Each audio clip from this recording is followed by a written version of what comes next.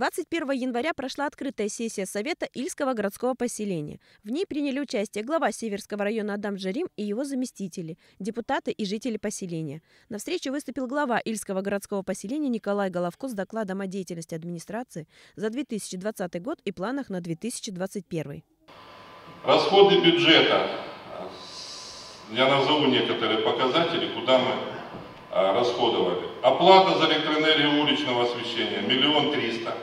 Коммунальные услуги – 434 675 рублей. Услуги связи – 109 082 рубля. Ремонт дорог с асфальтовым покрытием – 3 миллиона 809 тысяч рублей. Главным событием года для жителей поселения стало открытие спортивного комплекса «Юность». Также при помощи ТОС номер 3 появился новый сквер.